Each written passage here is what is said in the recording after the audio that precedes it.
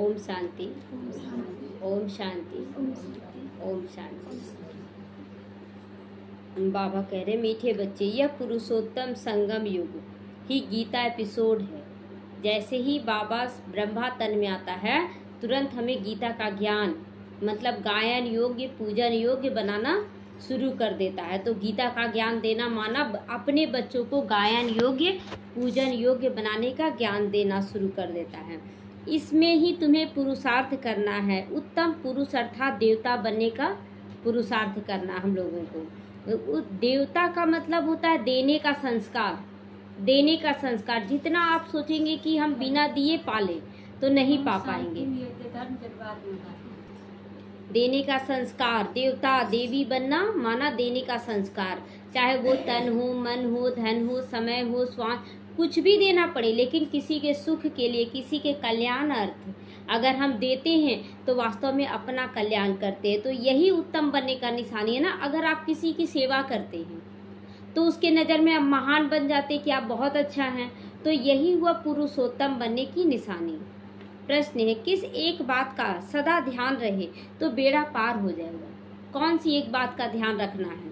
उत्तर है, सदा। सदा ध्यान रहे कि हमें ईश्वरीय संग में रहना ईश्वरीय संग में रहेंगे तो बेड़ा पार हो जाएगा। अगर भगवान के संग में रहें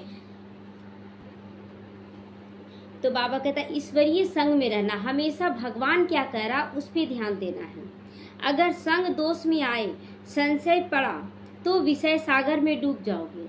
क्या होता है कि अगर संग दोष में दुनिया वाले इधर उधर जा रहे हैं, उनके संग में आ जाते हैं तो हम लोग बोलते सब तो अच्छा कर रहा, हम क्या बाबा के संग में आकर ये करे, वो करे? हम लोगों को नहीं करना है। तो विषय सागर में डूब जाते। विषय सागर माना विषय विकार क्या होता है? विषय विकार मिटाओ, पाप हरो, देवा बोलते हैं ना? तो विषय विकार क्या होता है? विषय जैसे कोई चीज़ देखना और उसके प्रति आकर्षित होना तो विकार पाने का इच्छा हाँ। विषय माना कि किसी, जैसे किसी के शरीर को देखे तो बहुत सुंदर शरीर है, ऐसा ही मेरा भी शरीर होना चाहिए। फिर या किसी के घर को देख लिए तो बोले, कितना सुंदर इसका घर है, मेरा भी घर है ना ऐसा होना चाहिए। उसका पति देख ली उसका पति बहुत सुंदर है, कमाने वाला है, उसका बेटा का जॉब लग गया है। मतलब बहुत सारा विषय। जिसमें लोग क्या करते आकर्षित हो जाते हैं और उसके बाद विकारों में डूबने लगते हैं। तो हमें बाबा कहता, बेड़ा, विषय सागर में डूब जाएगा, अगर ये सब देखोगे तो सागर है। तो बाप जो समझाते हैं, उससे बच्चों को जरा भी संशय नहीं आना चाहिए। बाप, तुम बच्चों को आप समान पवित्र और नॉलेजफुल बनाने आए हैं। बाप के संग में ही रहना है। बाबा कहता है ना, हम लोगों को ज्ञान दे देकर क्या बना रहा है? नॉलेजफुल बना रहा है. तो हमें बाप के संग में रहकर ये ज्ञान सुनना है। ओम शांति। भगवानुवाच।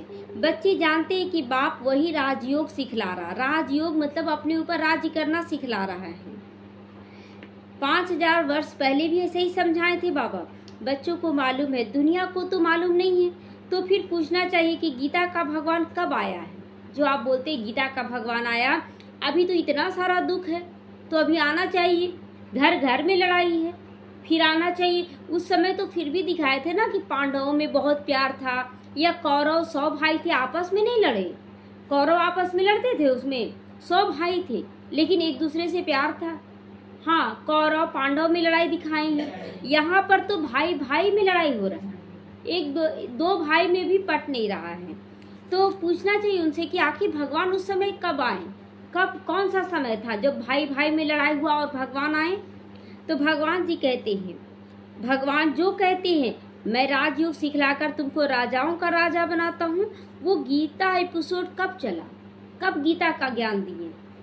तो यह पूछना चाहिए सबसे, यह बात कोई भी नहीं जानता कि कब आए थे भगवान, कब गीता का ज्ञान दिए। अभी तुम प्रैक्टिकल सुन रहे हो। गीता का एपिसोड होना भी चाहिए।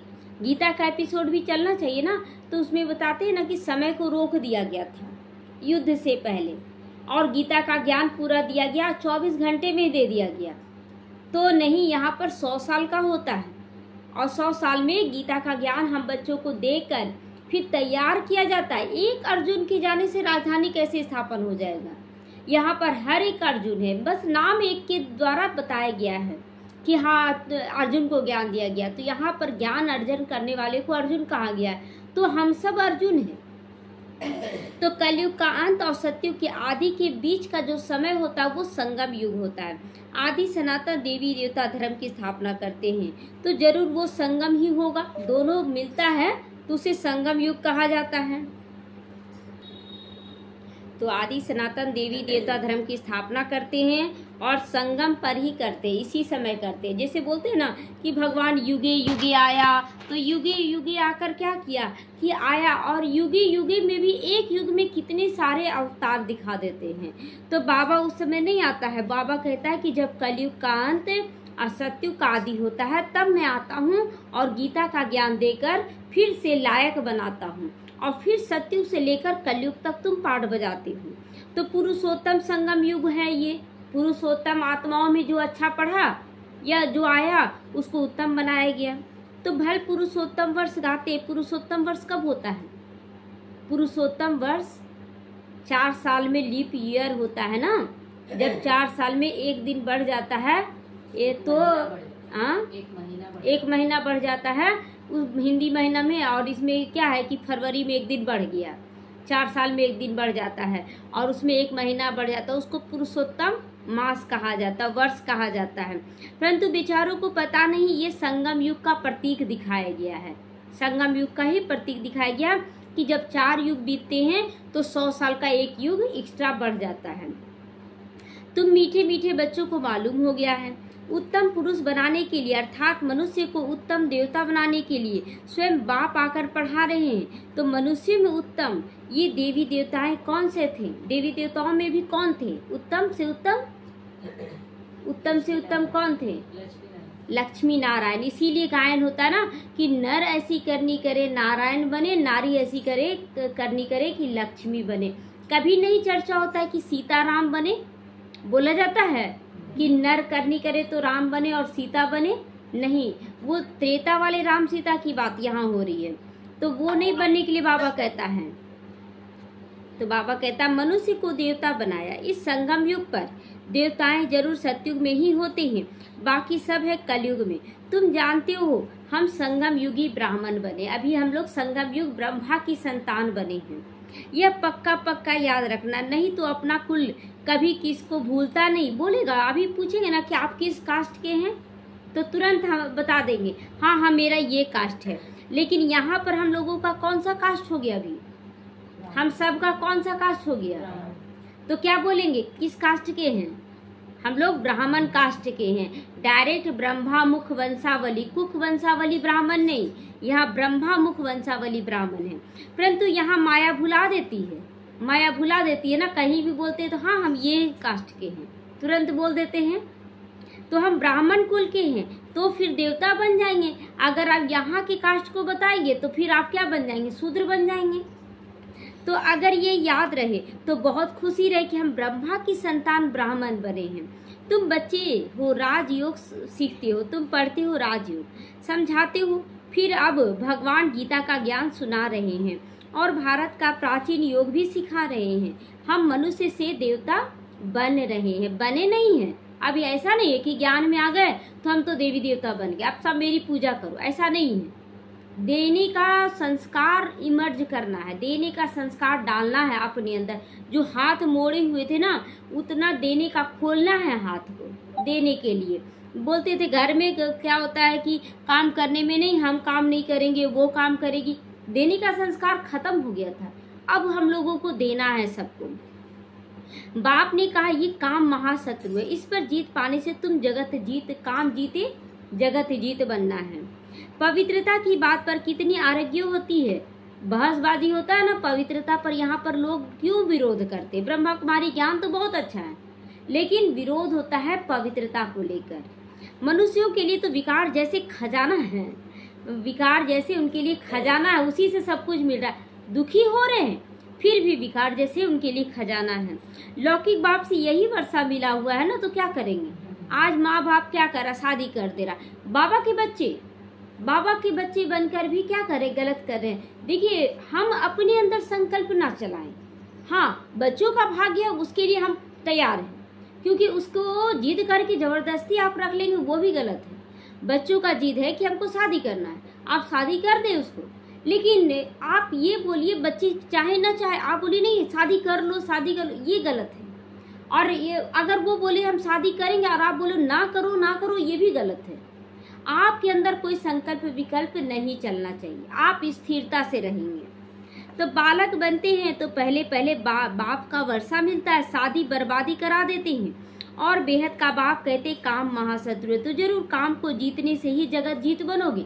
आपके अंदर कोई कामना नहीं रहना चाहिए। ये कामना आज बोलते, बेटा का शादी किए, बेटा का और घर में बहू आई तो बोलते, झगड़ा का घर हो गया है। तो ये क्या है? इसलिए बाबा कहता है, बच्चे, तुम संकल्प नहीं चलाओ। तुम सौंप दो बाबा को। बाबा, आपको जो इच्छा है वो करवाइए। तो फिर जो अच्छा रहेगा, वो करवाएगा। अगर वो नहीं करेगा तो होगा, नहीं होने करेगा, नहीं होगा। तो ज़रूर काम को जीतने से ही तुम जगत जीत बनोगे। बाप ज़रूर संगम पर ही आए होंगे। महाभारी, महाभारत लड़ाई भी है। हम भी यहाँ ज़रूर हैं, यहाँ भी ऐसे हैं। सब फट से काम पर जीत पाते हैं। हम हर बात में टाइम तो लगता है ना? मुख्य बात बच्चे यही लिखते हैं कि बाबा, हम विषय वैतरनी नदी में गिर गए। ज़रूर कोई ऑडियंस है? बाबा कहता ना कि आखिर ज़रूर कोई कारण? ऐसा नहीं। लोग बोलता ना कि सामने वाला हमको गिरा दिया। सामने वाला नहीं गिराता है। आप खुद गिर जाते हैं। अभी देखिए, खुद के भी लोग पूछते हैं कि आपके बच्चे नहीं करेंगे शादी? क्यों नहीं करेंगे? अगर उनका इच्छा होगा तो क्या हम ज़बरदस्ती इसको बाँध के रखेंगे? मत करो। वो हम ही को छोड़ देगा तो क्या करेंगे? भाग जाएगा किसी को लेके। तो हम क्या बोलेंगे? मत करो। ठीक है, तुम्हारा इच्छा। बाबा को सौंप दिए। बाबा आपका बच्चा है। जिसका जो पार्ट है वो निभाएगा ना। हम कौन होते हैं? लेकिन हम संकल्प क्यों चलाए? शादी होगा, मेरी बहू आएगी, मेरे पाँव दबाएगी, ये सब क्या है? तो ये सब नहीं करना है। हम क्यों ये सब सोचने जाए? तो बाप का फरमान है, काम को जीतने से तुम जगत जीत बनोगे। किसी से कोई आस नहीं रखेंगे तो ही आस पूरा होगा। और जब आस रखेंगे ना तो और ही निराश हो जाओगे। तो ऐसे नहीं कि जगत जीत बनकर फिर विकार में जाते रहोगे।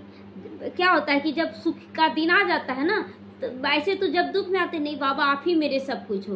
और जब सुख का दिन आ गया ना, नहीं टाइम मिलेगा तब ना आएँगे हम बाबा बाबा कर रहे हैं, सब कुछ कर रहे हैं। ये क्या है? बहानाबाजी है। तो हमें और ज़्यादा याद करना है। दुख में तो याद करे, सुख आ गया, सुख में और ज़्यादा याद करना है।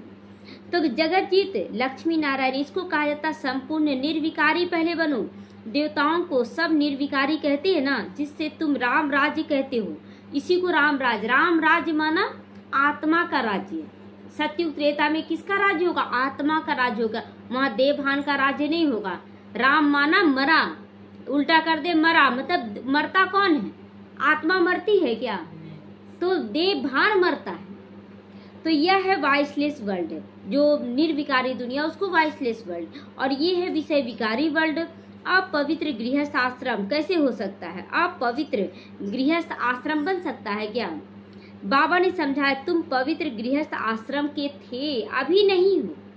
अब तो चौरासी जन्म लेते लेते अब पवित्र बन गए हो। चौरासी जन्मों की कहानी बाबा सुना रहा है। नई दुनिया ज़रूर ऐसी वाइसलेस होनी चाहिए। निर्विकार, आज देखिए कि राह चलते बलात्कार हो रहा है लड़कियों का। निकलना मुश्किल हो रहा है। औरतों को भी निकलने में डर लगता है कि अकेले ना जाए। कोई साथी संगी ढूंढते हैं। अकेले हिम्मत नहीं। क्यों? इसी विकार के कारण ना। काम विकार के कारण। तो भगवान, जो पवित्रता का सागर, वही ये स्थापन करते हैं। फिर रावण राज्य भी ज़रूर आना है। नाम ही है ना राम राज्य और रावण राज्य जब आत्मा का राज्य खत्म हुआ तो देवहान का राज्य शुरू हो गया। रावण राज्य माना आसुरी राज्य यहाँ देवताई गुण समाप्त हो जाता है। अभी तुम आसुरी राज्य में बैठे हो। ये लक्ष्मी नारायण है दैवी राज्य की निशानी। जो मंदिरों में बैठाते लक्ष्मी नारायण को, वो दैवी राजधानी की निशानी है। तुम बच्चे प्रभात फेरी आदि निकालते हो। प्रभात सवेरे को ही कहा जाता है। तो उसी समय फेरी निकालते, उस समय मनुष्य सोए रहते, इसीलिए थोड़ा देरी से निकालते। अब देखिए, एकदम ऐसे तो प्रभात फेरी क्या होता है? अमृत बेला, अमृत बेले, लेकिन सारे मनुष्य तो नहीं देख पाएँगे, क्या निकल? इसीलिए थोड़ा देर से निकाला जाता है। जो प्रभात फेरी निकालते हैं ना, कलश यात्रा बाबा का, वो प्रदर्शनी भी अच्छा अच्छी तब हो जब वहाँ सेंटर भी हो। तभी तो कर सकते हैं ना, प्रदर्शनी अच्छा से समझा सकते हैं। जहाँ आकर समझे काम महाशत्रु है, इस पर जीत पाने से तुम जगत जीत बनते हो। तो काम विकार महाशत्रु है, जो जो इस पर जीत पा लिया तो पवित्रता का जो शक्ति है ना, उससे समस्याएँ क्या होता है? समाप्त होना शुरू हो जाता है। तो लक्ष्मी नारायण का चित्र साथ में ज़रूर होना चाहिए। ट्रांस लाइट का भी होना चाहिए, लाइट का, क्योंकि शिव बाबा क्या है, ज्योतिर्बिंदु है। तो उसका भी लाइट का होना चाहिए। इसको भी कभी नहीं भूलना चाहिए कि भगवान कैसे हैं। ज्योतिर्बिंदु है तो ज्योति का चित्र ट्रांसलाइट ज़रूर लगाना है। एक यह चित्र और सीढ़ी, बाबा कहता सीढ़ी भी का भी चित्र लगाना चाहिए कि कैसे हम लोग नीचे उतरे हैं। ट्रक में जैसे देवियों को निकालते हैं ना, ऐसे तुम दो तीन ट्रक सजाकर उसमें मुख्य चित्र निकालते हो तो अच्छा लगता है। बाबा कहता है, जैसे ट्रक में बैठा के निकालते हैं लक्ष्य रामनवमी समय निकालते हैं ना प्रोसेसन तो उसी समय, उसी तरह बाबा बोलता है ना, चारों तरफ़ पोस्टर लगा दो, शिव शंकर का महान अंतर लक्ष्मी नारायण हमारा लक्ष्य है, फिर सीढ़ी का स्वास्थ्य का, ये सब का लगा के और प्रचार करना है। दिन प्रतिदिन चित्रों की वृद्धि तो होती जा रही है, तुम्हारा ज्ञान भी वृद्धि को पाता जाएगा। समझाने का तरीका सबका अलग अलग हो रहा है ना? तो बच्चों की भी वृद्धि हो रही है, अब बच्चे भी बढ़ रहे हैं। उसमें गरीब साहूकार सब आ जाते हैं। यहाँ पर गरीब साहूकार सब क्या है? एक जैसे आते हैं। शिव बाबा का भंडारा भरता जाता है। अगर हर एक बाबा कहता है ना थोड़ा थोड़ा अंश भी डालना शुरू कर देता है तो बाबा का तो भंडारा भरपूर हो जाता है। बड़ा बड़ा कार्य कैसे होता है? बाबा ब्रह्मा कुमारी जब कार्य करती है, और बाहर वाले भी कार्य करते हैं तो बाहर वाले क्या करते सबसे चंदा काटते और ब्रह्मा कुमारियाँ जब करती तो सबसे तो नहीं काट सकती। तो बाबा के बच्चे ही बूंद बूंद जो डालते हैं उससे सागर बन जाता है।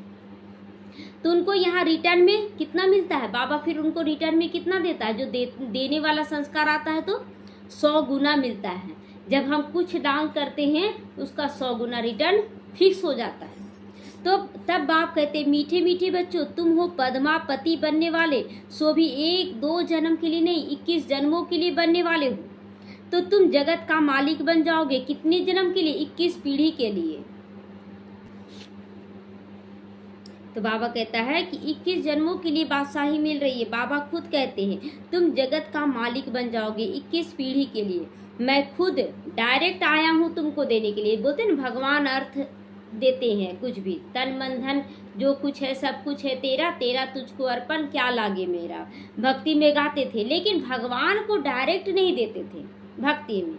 भगवान वहाँ पर मंदिरों में देते थे, किसी न किसी को देते थे।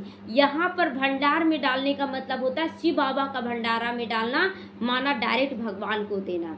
तो तुम्हारे लिए हथेली पर बहिस्त लाया हूँ। स्वर्ग हथेली पर बाबा लेकर आए हैं। जैसे बच्चा पैदा होता है तो बाप का वर्षा उसकी हथेली पर ही आ गया। अब करोड़पति का बच्चा पैदा होगा तो उसको थोड़ी बोलेंगे रोडपति हो गया। वो जन्म लेते के साथ करोड़पति है। उसका सब कुछ अधिकार। भले उसके हाथ में नहीं है, लेकिन उसके हाथ में स्वर्ग है। तो इसी तरह बाबा आया है, बाबा के बने, हम स्वर्ग के हकदार बन गए। अब स्वर्ग को संभालने के लिए हमें क्या करना होगा? संस्कार भरना होगा अपने अंदर, कि कैसे हम इसको संभालने के लायक बने। तो संस्कार क्या है? देने का संस्कार। जितना हम संस्कार सबको सुख देने का बनाएँगे, शांत रहने का बनाएँगे, तभी हम संभाल पाएँगे ना उसकी संपत्ति को। तो इसीलिए पहले हम लोगों को संस्कार बनाना है। बाप कहेंगे, यह घर बार आदि सब तुम्हारा ही होगा। अब घर बार थोड़ी तुमको छोड़कर दे देना है कि लो, ले लो बाबा, ये घर तुम्हारा है। ऐसा बोलते हैं, लेकिन संभालना तो आप ही को पड़ेगा। बेहद का बाप भी कहते, तुम जो मेरे बनते हो, स्वर्ग की बादशाही तुम्हारे लिए देता हूँ। इक्कीस पीढ़ी के लिए, क्योंकि तुम काल पर भी जीत पा लेती हो। इसीलिए बाप को महाकाल कहते हैं। काल पे भी जीत माना मृत्यु पर जीत पा लेते हैं। मृत्यु से डर लगता है क्या? मृत्यु से डर लगता है? अगर मृत्यु सामने आ जाए तो बचाने की कोशिश तुरंत करना शुरू कर देते हैं। है ना? बोलते हैं, लेकिन आप मृत्यु से डर, अब देखिए, पहले कहीं अकेले जाते थे। क्या कर लेगा लोग? अकेले कहीं कोई कुछ ना कर ले। लेकिन अब कोई डर भय नहीं। अगर सुनसान जगह बोलते हैं ना, भूत रात में भी, अगर आधी रात को भी कोई बोले आने जाने के लिए, कोई डर नहीं। भूतों प्रेतों से भी डर लगेगा क्या? कोई डर नहीं लगेगा।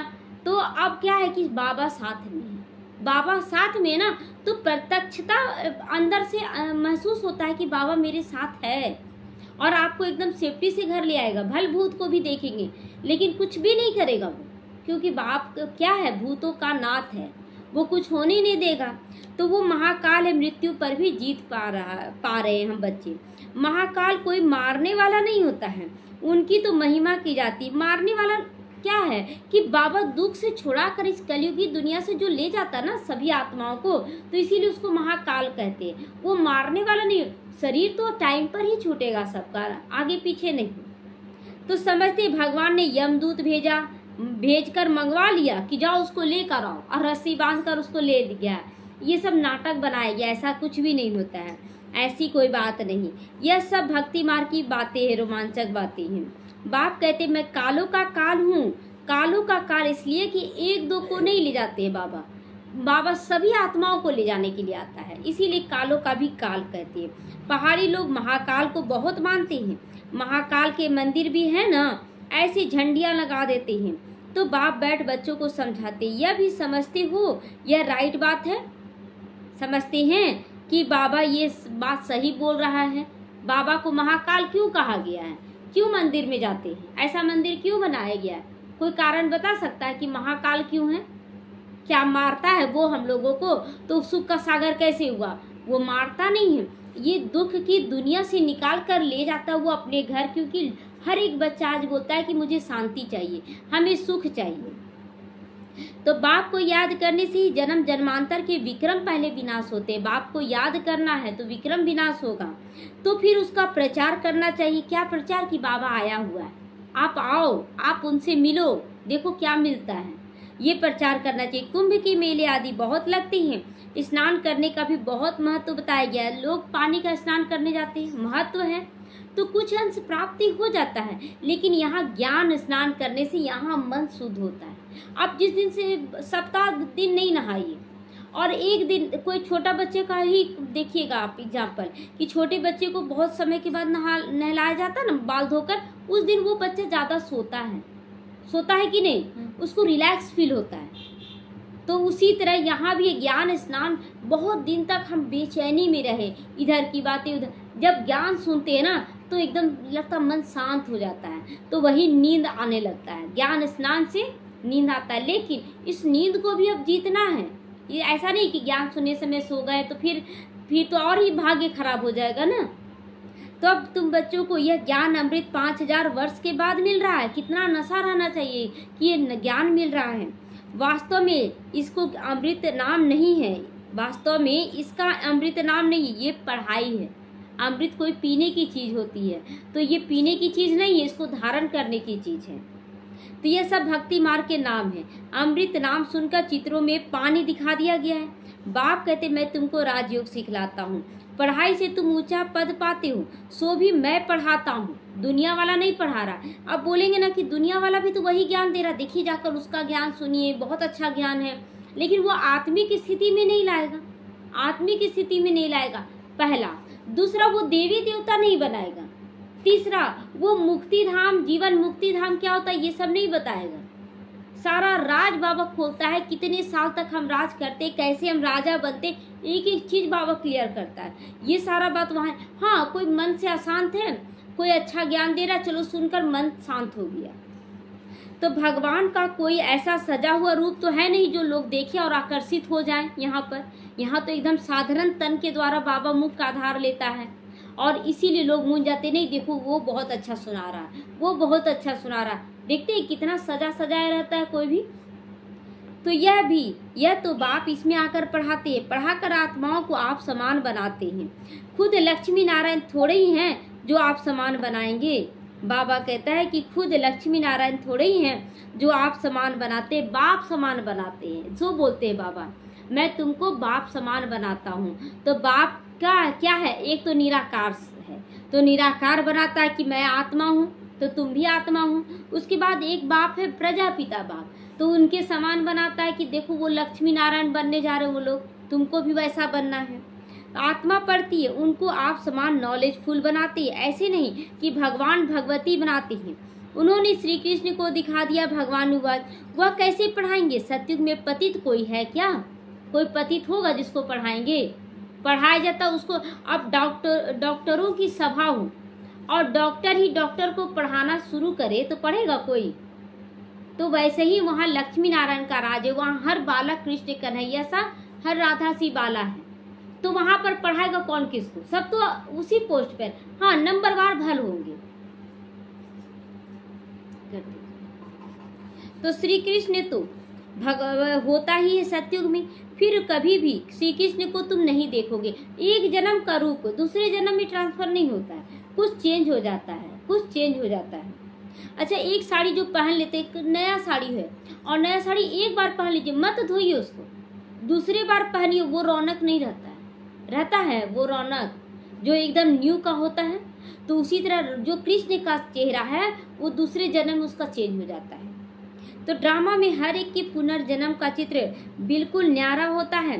कुदरत का ड्रामा बना हुआ है, बनी, बनाई, बन रही, अब कुछ बननी नहीं। सारा चित्र बना हुआ है, कौन कैसा शरीर लेगा? बाप भी कहते, तुम हु बहु इस फीचर से, इसी कपड़े में कल्प कल्प तुम ही पढ़ते हो।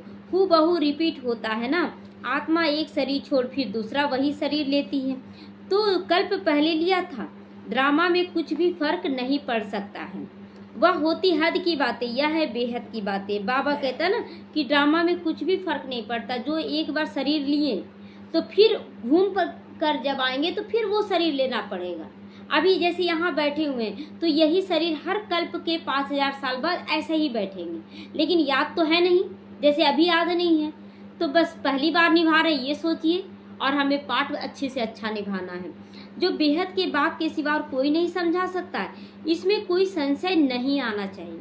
संशय लास्ट में ना बाबा कहता ना कि बच्चे जितना भी लोग भाग ले, उधर का ज्ञान अच्छा उधर का ज्ञान लास्ट में सब फेल हो जाएँगे। इतना गारंटी कौन देगा कि सब फेल हो जाएँगे, सब आएँगे यहीं पर?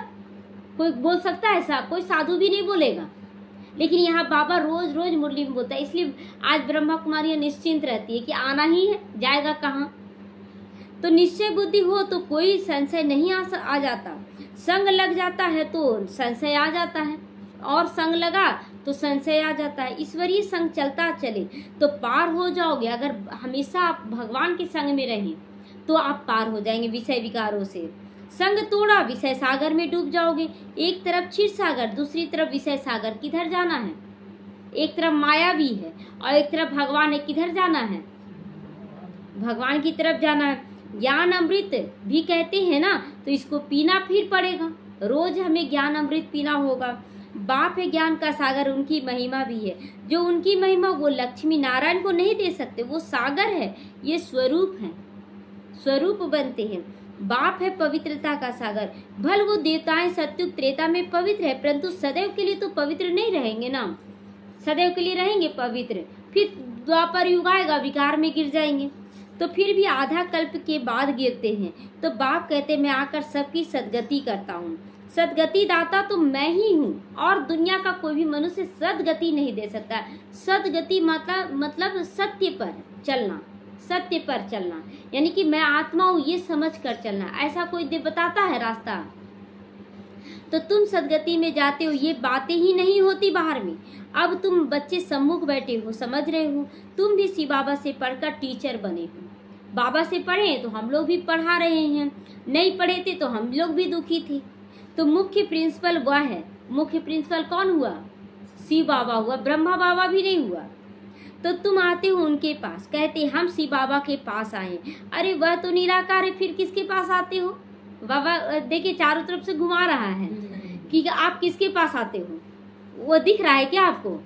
लेकिन वो नहीं दिखते हुए भी, भी वही है उसको याद करना है। हाँ वह आते हैं इनके तन में आते हैं इसीलिए कहते बाप दादा के पास जाते हैं। तो यह बाबा उनका रथ है। कोई घोड़े गाड़ी का रथ नहीं होता शरीर रूपी रथ में आते हैं बाबा। जिस पर सवारी वो करते हैं, उनका, उनको रथ घोड़ा आसो भी कहते हैं। इस पर एक कथा है ना, दक्ष प्रजापति पिता ने यज्ञ रचा, उसमें घोड़े को स्वाहा किया गया। लेकिन घोड़ा क्या है? ये शरीर रूपी घोड़ा, मन रूपी घोड़ा, इसको स्वाहा किया जा रहा है। कहानी तो लिख दिए, परंतु ऐसा कुछ भी नहीं है। श्री भगवान आज मैं तब आता हूँ जब भारत में अति धर्म की ग्लानी होती है। गीतावादी भल कहते, यदा यदा ही धर्म से धर्मो ग्लानिर्भवते भारते। तो भारत में ग्लानी हुई कब हुई? अभी ग्लानी नहीं हो रही है। आज हर घर में लड़ाई झगड़ा हो रहा है। तो ग्लानी नहीं हो रहा है। हर रिश्ते में ग्लानी हो रहा है। परंतु अर्थ नहीं समझते। तुम्हारा ये बहुत छोटा सा झाड़ है। इसको तूफ़ान भी लगते हैं। नया झाड़ है ना? फिर ये फाउंडेशन भी है। मज़बूत जड़ तैयार हो रहा। कितने कम बच्चे, इतना सारा एरिया में कितने थोड़े बच्चे? लेकिन ये फाउंडेशन मज़बूत जड़ है और वृक्ष कितना बड़ा निकलता है, जड़ कितना छोटा होता है। तो इतने अनेक धर्मों के बीच एक आदि सनातन देवी देवता धर्म की सैपलिंग लगाते हैं। कितनी मेहनत है, औरों को मेहनत नहीं लगती है। वह ऊपर से आए, अपना झाड़ तुरंत तैयार कर लेते हैं। लेकिन यहाँ मेहनत लगता है, क्योंकि एक दो समय के लिए नहीं, हम लोगों को 2500 साल के लिए राज़ी करना है। तो यहाँ तो सत्युग त्रेता में आने वाले आएँगे। उन्हों को आत्माएँ बैठ पड़ती हैं। उन्हों की आत्माएँ आकर पढ़ती जो पतित हो गए हैं, उनको पावन देवता बनाने के लिए बाप पढ़ाते हैं। गीता भी। गीता तो बहुत पढ़ते आए हूँ। अब आत्माओं को याद कर दृष्टि दी जाती है तो पाप कर जाते बाबा किसको याद करता है? शरीर को नहीं। आत्माओं को याद करता हम भी बच्चे क्या करें? आत्मा को देखें कि सब एक आत्मा है। भक्ति मार्ग में फिर गीता के आगे जल रख कर पढ़ते हैं बैठ कर पढ़ते हैं। गीता के आगे जल रखते, उसके बाद पढ़ते हैं। समझते हैं, पितरों का भी उद्धार होगा, इसीलिए पितरों को याद करते हैं, जल रख कर भक्ति में गीता का बहुत मान रखते हैं। गीता इधर उधर नहीं रखेंगे, बहुत मान रखते हैं। अरे, बाबा कोई कम भक्त था, ब्रह्मा बाबा, दादा लेखराज। कम बड़ा भक्त था क्या? रामायण आदि सब कुछ पढ़ते थे दादा लेखराज। ये दादा लेखराज, अभी पहले वाला रूप, अभी तो ब्रह्मा है। इनको बहुत खुशी होती थी, वह सब पास्ट हो गया, पहले पढ़ते थे, अब नहीं। अब बाप कहते, बीती को चितवो नहीं, अब बीती बातों को याद नहीं करना, बाबा भी तो ऐसा करता था, हम भी ऐसे करते थे। नहीं, अब क्या करना है, वो देखना है। तो बुद्धि से सब निकाल दो, बाबा ने स्थापना, विनाश और और राजधानी का साक्षात्कार कराया वह पक्का हो गया ब्रह्मा बाबा को। पहले विनाश का साक्षात्कार कराया फिर स्थापना का साक्षात्कार कराया तो सब कुछ भूल गए ना ब्रह्मा बाबा? कि ऐसे गुरु किए ऐसे पूजा पाठ के सब कुछ खत्म। तो वह सब क्लास होना ही ये पता नहीं था इनको। बाबा ने समझा ये सब होगा। देरी थो, थोड़े ही है हम जाकर फलाना राजा बनूँगा। ब्रह्मा बाबा को नशा होता था। कि हम तो नारायण बनेंगे, हम तो कृष्ण बनेंगे। क्या ये नशा बोलते थे ना, बाबा आप तो उनको बता दिए कि मैं कृष्ण बनूँगा, इसलिए नशा रहता था। तो हम लोगों को तो आप बताए नहीं कि हम क्या बनेंगे। देवी देवता चलो बनेंगे, कौन सा देवी देवता बनेंगे? तो बाबा बोला कि बच्चे, वो पोस्ट है। लक्ष्मी नारायण या कृष्ण का एक पोस्ट होता है। तो जो सबसे पहले तैयार हुआ, वो जाकर वो पोस्ट ले लिया। लेकिन वहाँ पर सारे लोग वही बनेंगे। लक्ष्मी नारायण, सीताराम सब बनेंगे। तो उस पोस्ट को तुम भी हासिल करो, बोलो, मैं भी कृष्ण बनूँगा। तो पता नहीं, बाबा क्या क्या समझाते रहते थे। तो तुम बच्चे जानते हो, बाबा की प्रवेशता कैसे हुई? यह बातें मनुष्य नहीं जानते। ब्रह्मा, विष्णु, शंकर का नाम तो लेते हैं ना, परंतु इन तीनों से भी भगवान किसमें प्रवेश करते हैं, अर्थ नहीं समझते। ब्रह्मा, विष्णु, शंकर किसमें प्रवेश किए? किसमें प्रवेश किए? भगवान। तो कहा जाता, ब्रह्मा द्वारा भाग्य बांटा गया। तो ब्रह्मा के तन में आके न भाग्य बांटे भगवान। तो वो लोग तो विष्णु का नाम लेते हैं। अब वह तो देवता है, वह कैसे पढ़ाएगा? बाबा खुद बतलाते, मैं इनमें प्रवेश करता हूँ, इसीलिए सिखलाया, दिखाया ना कि ब्रह्मा द्वारा नई सृष्टि की स्थापना होती है। वह पालना और विनाश मतलब विष्णु द्वारा पालना और शंकर द्वारा विनाश, यह बड़ी समझने की बात है। भगवान उवाच मैं तुमको राजयोग सिखलाता हूँ। यह भगवान कब आया? जो राजयोग सिखलाया और रजाई पद दिलाया, यह भी अभी तुम समझते हो। हम बच्चे समझते, बाहर वाले नहीं समझेंगे ये। चौरासी जन्मों का राज भी समझाया है। पूज्य पुजारी का भी भेद समझाया है। पूज्य कौन बनते? भगवान बनता है ना? भगवान हमेशा पूज्य है। पूज्य कौन बनता? अभी हम लोग पूज्य बन रहे हैं। पुजारी भी हम लोग बनते, बनने का शब्द जो आता है ना, वो हमारे से जुड़ता है। और शिव बाबा तो एवर पूज्य है। तो विश्व में शांति का राज्य इन लक्ष्मी नारायण का था, जो सारी दुनिया चाहती कि अब फिर से लक्ष्मी नारायण का राज्य हो। जब लक्ष्मी नारायण का राज्य था तो उस समय सब शांति धाम में थे। अब हम श्रीमत पर कार्य करें अपनी मत पर नहीं, मन मत पे नहीं। मनुष्य क्या कह रहे उस पर भी नहीं चलना है। तो अनेक बार किया है और करते रहेंगे, यह भी जानते हैं, कोटों में कोई निकलेगा। करोड़ों आत्माओं में एक आत्मा निकलेगी। देवी देवता धर्म वालों को टच होगा कि अच्छा लग रहा है ज्ञान, सुनना चाहिए। भारत की बात है। जो स्कूल के होंगे, वो निकल रहे हैं और निकलते रहेंगे। चिंता नहीं करना है कि कौन बच्चा आएगा नहीं आएगा। जो आएगा, स्कूल का होगा, वो निकल जाएगा। तो तुम निकले ना, वैसे भी प्रजा बनती जाएगी। भावा कितना क्लियर करा कि तुम निकले ना। जो अच्छा पढ़ते, वो फिर ऊँचा पद भी पाएँगे, जो अच्छा से पढ़ रहे हैं तो। मुख्य बात ज्ञान और योग की है। जितना आप योग युक्त होकर ज्ञान सुनते हैं तो धारण होगा। तो योग के लिए ज्ञान चाहिए ना। अब ज्ञान नहीं रहेगा तो आपका योग कभी उससे लग जाएगा, कभी उससे लग जाएगा। पहचान होना चाहिए कि मैं कौन, मेरा कौन। तब तो योग लगाएँगे। तो फिर पावर हाउस के साथ योग चाहिए। योग से विक्रम विनाश होंगे। एवर हेल्दी वेल्दी सब बन जाओगे। पास विद ऑनर बन जाओगे। अच्छा मीठे मीठे सीखी लदे बच्चों प्रति। माता पिता बाप दादा का याद, प्यार और गुड मॉर्निंग रूहानी बाप की रूहानी बच्चों को नमस्ते। हम रूहानी बच्चों की रूहानी माता पिता बाप, दादा को याद प्यार गुड मॉर्निंग और नमस्ते नमस्ते, शुक्रिया बाबा, शुक्रिया। धारणा के लिए बुक मुख्य सारे, जो बीत गई उसका चिंतन नहीं करना, जो अब हो चुका है गलती, उसको बार बार नहीं देखना है। अब क्या करना उसे बाबा पढ़ा रहे हैं। बाबा कहते अब तक जो पढ़ा उसे भूल जाओ, पहले वाला ज्ञान सारा भूल जाओ। एक बाप से सुनना है और अपने ब्राह्मण कुल को सदा याद रखना है कि हम किस कुल के हैं। ब्रह्मा द्वारा बने हैं, ब्राह्मण कुल के हैं। पूरा निश्चय बुद्धि होकर रहना कि कौन पढ़ा रहा भगवान पढ़ा रहा है। किसी भी बात में संशय नहीं उठाना ये ऐसे कैसे हो गया? ये ऐसे कैसे हुआ? नहीं। हमारी समझ में नहीं आ रहा तो क्या बात गलत हो गया? नहीं। तो ईश्वरीय संग और पढ़ाई कभी भी छोड़ना नहीं है। वरदान है आज का। रूहानी मासूक की आकर्षण में। रूहानी मासूक कौन है? शिव बाबा। उसके आकर्षण में आकर्षित होकर मेहनत से मुक्त होने वाली रूहानी आशिक बनो। मासूक अपने खोए हुए आशिक को देखकर खुश होता है ना? तो रूहानी आकर्षण से आकर्षित हो, अपने सच्चे मासूक को जान लिया, पा लिया, यथार्थ ठिकाने पर पहुँच गए। जब ऐसे आशिक आत्माएँ इस मोहब्बत की लकीर के अंदर पहुँचती है तो अनेक प्रकार की मेहनत से छूट जाती है। जो मेहनत करते, कैसे ठीक होगा, कब ठीक होगा? जब हमारा प्रिय शिव बाबा मिल गया, पहचान मिल गया। अब उससे बड़ा समस्या थोड़ी है। समस्या तो ठीक होना ही है। तो क्योंकि यहाँ ज्ञान का सागर की स्नेह की लहरें आती हैं, शक्ति की लहरें आती हैं, सदा के लिए रिफ्रेश कर देती है हमें। यह मनोरंजन का विशेष स्थान भी बन जाता है। मनोरंजन किस लिए चाहते हैं लोग? मन की शांति के लिए ही चाहते हैं। तो यहाँ मनोरंजन बाबा ज्ञान के द्वारा कराता है, सत्युग में ले जाता है, कभी कभी वहाँ परम धाम ले जाता है।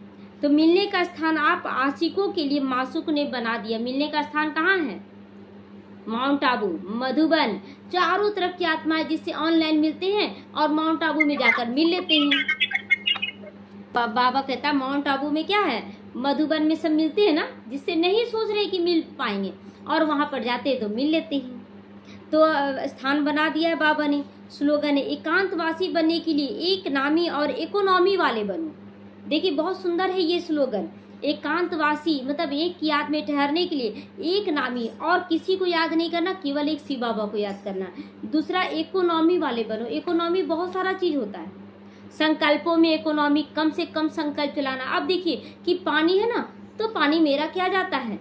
पानी बहा रहे बहा रहे एक बहन जुड़ती है तो वो दूसरे जगह काम करती है। तो बोलती मेरा क्या जाता है? पानी बहाते जाती प्रकृति की बर्बादी करती हैं तो वो उसका फिर फल मिलता है गलत। अगर आप गलत करेंगे तो गलत फल मिलेगा। इसलिए इकोनॉमी हर चीज़ में अपनाएँ।